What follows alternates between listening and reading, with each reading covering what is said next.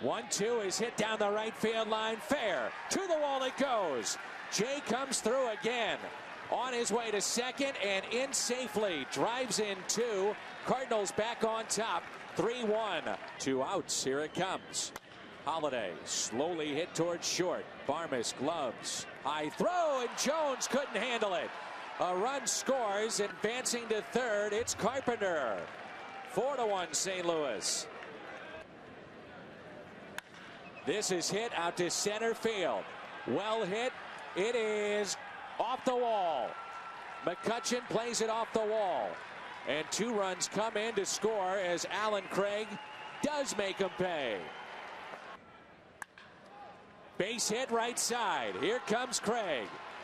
Throw by Snider. Offline, and it's 7 to 1 St. Louis against McDonald last year.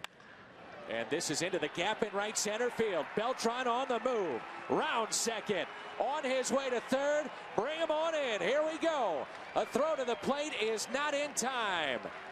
The Cardinals add to their lead as Molina drives in his eighth. The boos from this sparse crowd here in Pittsburgh.